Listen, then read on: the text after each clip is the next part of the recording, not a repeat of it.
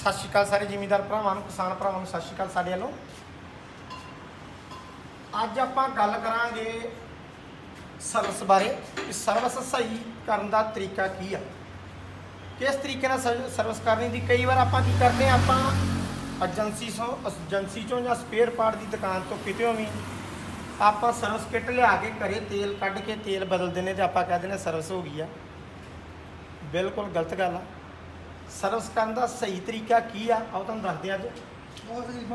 ਇਹ tractor 2009 model ਆ। ਇਹ ਵੀ ਵੀਰ ਜੀ ਸਰਵਿਸ ਜਿਹੜੀ ਆਪਣੇ ਤਰੀਕੇ ਨਾਲ ਕਰਦੇ ਰਹੇ ਸ਼ਾਇਦ ਲੱਗਦਾ ਮੈਨੂੰ। ਆ ਵੀਰ ਜੀ ਨਹੀਂ ਆਏ ਸਾਡੇ ਕੋਲ ਵੇਖੋ ਹਾਂਜੀ ਹਾਂਜੀ ਠੀਕ ਆ? ਮਤਲਬ ਕੱਲਾ ਤੇਲ ਕੱਢ ਕੇ ਜਾਂ ਫਿਲਟਰ ਚੇਂਜ ਕਰਕੇ ਸਰਵਿਸ ਨਹੀਂ ਹੁੰਦੀ। ਆਪਾਂ ਤੁਹਾਨੂੰ ਸਰਵਿਸ ਕਰਨ ਦਾ ਤਰੀਕਾ ਲੱਗਿਆ ਦੱਸਣ ਕਿ ਇਹ ਵੀ ਮਕੈਨਿਕ ਆਪਣੇ ਤਰੀਕੇ ਨਾਲ ਕਰਾ ਸਕਦੇ ਜੇ। ਆਜੋ ਦੱਸਦੇ ਤੁਹਾਨੂੰ। ਆ ਨੌਵਾਂ ਸਾਲਾਂ ਚ ਪਹਿਲੀ ਵਾਰ ਇਹ ਟਰੈਕਟਰ ਦਾ ਜਿਹੜਾ ਟਾਪਾ ਖੋਲਿਆ ਗਿਆ ਵਾ। ਟੈਬਟ ਕਵਰਾ ਵੇਖਿਓ।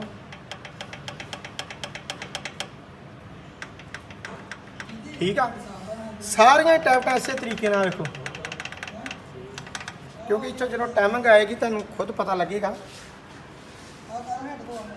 ਆਪਾਂ ਜਦੋਂ ਘਰੇ ਸਰਵਿਸ ਕਰਦੇ ਆ ਜਾਂ ਲੋਕਲ ਕਿਸੇ ਮਕੈਨਿਕ ਤੋਂ ਸਰਵਿਸ ਕਰਾਉਨੇ ਆ ਫਿਰ ਇਸ ਤਰੀਕੇ ਦੀ ਸਾਨੂੰ ਨੌਬਤ ਆਉਂਦੀ ਹੈ। ਜਿੱਦਾਂ ਕਹਿ ਦਈਏ ਟਰੈਕਟਰ ਦੀ ਆਵਾਜ਼ ਬਿਲਕੁਲ ਪ੍ਰੋਪਰ ਨਹੀਂ ਹੋਵੇਗੀ, ਖਿਚਾਈ ਨਹੀਂ ਵਧੀਆ ਹੋਵੇਗੀ, ਡੀਜ਼ਲ ਖਰਚਾ ਵੱਧ ਹੋਵੇਗਾ।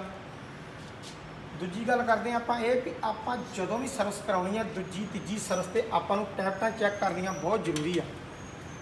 ਉਹਦਾ ਰੀਜ਼ਨ ਕੀ ਆ ਵੀ ਜਿਹੜੀ ਟੈ- ਆਪਣੇ ਇੰਜਨ ਚੱਲ ਰਿਹਾ, ਉਹਦਾ ਵਾਲ ਵੀ ਘਸਣਾ ਹੁੰਦਾ ਵਾ ਟੈਬਟ ਦਾ ਮੱਥਾ ਵੀ ਘਸਣਾ ਹੁੰਦਾ ਵਾ।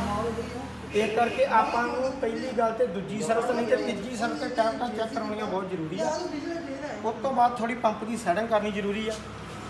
ਤੀਜੀ ਗੱਲ ਆ, ਸਰਵਿਸ ਸਮੇਂ ਕਲੱਚ ਦੇ ਵਿੱਚ ਆ, ਵੇਖਿਓ ਜਿੱਦਾਂ ਇਹਦੇ ਵਿੱਚ ਮਾਸਾ ਪਲੇ ਨਹੀਂ ਹੈਗੀ, ਮਾੜੀ ਜਿੰਨੀ ਵੀ ਪਲੇ ਨਹੀਂ ਹੈ, ਠੀਕ ਹੈ ਇਹ ਪਲੇ ਹੋਣਾ ਵੀ ਜ਼ਰੂਰੀ ਆ, ਜਿਹਦੇ ਕਰਕੇ ਤੁਹਾਡੀ ਕਲੱਚ ਪਲੇਟ ਦੀ ਲਾਈਫ ਵਧੇਗੀ ਕਲੱਚ ਪਲੇਟ ਦੇ ਬੈਰਿੰਗ ਦੀ ਜਿਹੜੀ ਲਾਈਫ ਵਧੇਗੀ।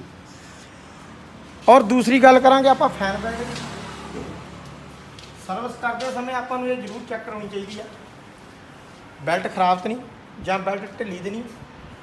ਇਹਦੇ ਨਾਲ ਸਾਡੇ ਇੰਜਨ ਦਾ ਨੁਕਸਾਨ ਹੋ ਸਕਦਾ, ਇਹ ਵੀ ਸਰਵਿਸ ਟਾਈਮ ਆਪਾਂ ਨੂੰ ਕਰਨੀ ਜ਼ਰੂਰੀ ਆ।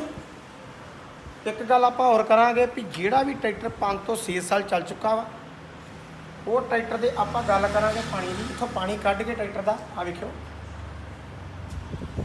ਇੱਥੋਂ ਪਾਣੀ ਕੱਢ ਕੇ ਇਹਦਾ ਪਾਣੀ ਵੀ ਚੇਂਜ ਕਰਾਂਗੇ, ਠੀਕ ਹੈ ਰੇਡੀਏਟਰ ਦੇ ਉੱਤੋਂ ਢੱਕਣ ਖੋਲ ਕੇ ਪਤਾ ਲੱਗੇਗਾ ਇਸ ਤਰੀਕੇ ਦੇ ਨਾਲ ਪਤਾ ਲੱਗ ਜੇ ਅਗਰ ਤੁਹਾਡਾ ਰੇਡੀਏਟਰ ਬਲੌਕ ਆਪਾਂ ਰੇਡੀਏਟਰ ਦੀ ਸਫ਼ਾਈ ਕਰਾ ਕੇ ਕੂਲੈਂਟ ਪਾਵਾਂਗੇ ਇਹਦੇ ਵਿੱਚ।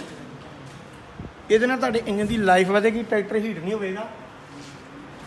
ਔਰ ਦੂਜੀ ਗੱਲ ਜਿਹੜੀ ਆ, ਇਹ ਤੇ ਜੌਂਡੀਆ ਟਰੈਕਟਰ, ਇਹਦੀ ਬ੍ਰੇਕ ਐਡਜਸਟ ਕਰਨ ਦੀ ਲਾਈਫ ਟਾਈਮ ਤੱਕ ਬ੍ਰੇਕ ਐਡਜਸਟ ਕਰਨ ਦੀ ਲੋੜ ਨਹੀਂ ਆ। ਅਗਰ ਦੂਜਾ ਟਰੈਕਟਰ ਕੋਈ ਹੋਰ ਆਪਣੇ ਕੋਲ ਸਵਰਾਜ ਆ, ਹੋਰ ਕੋਈ ਵੀ ਟਰੈਕਟਰ ਆਪਣੇ ਕੋਲ ਜਿਹੜਾ ਵੀ ਆ, ਉਹਦੀਆਂ ਬ੍ਰੇਕਾਂ ਵੀ ਚੈੱਕ ਕਰਨੀਆਂ ਜ਼ਰੂਰੀ ਦੋਨੋਂ ਬਰਾਬਰ ਹੀ ਲੱਗਣ।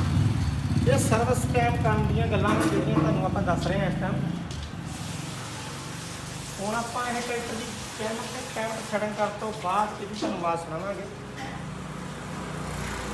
ਅਗਰ ਤੁਹਾਨੂੰ ਸਾਡੀ ਵੀਡੀਓ ਵਧੀਆ ਲੱਗੇ, ਤੇ ਕਮੈਂਟ ਸ਼ੇਅਰ ਜ਼ਰੂਰ ਕਰਨਾ। Thank you